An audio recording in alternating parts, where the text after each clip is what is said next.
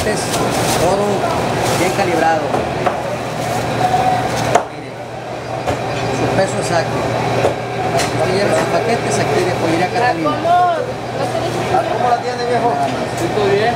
No, no, a mí me la hago barata. Mire nada más.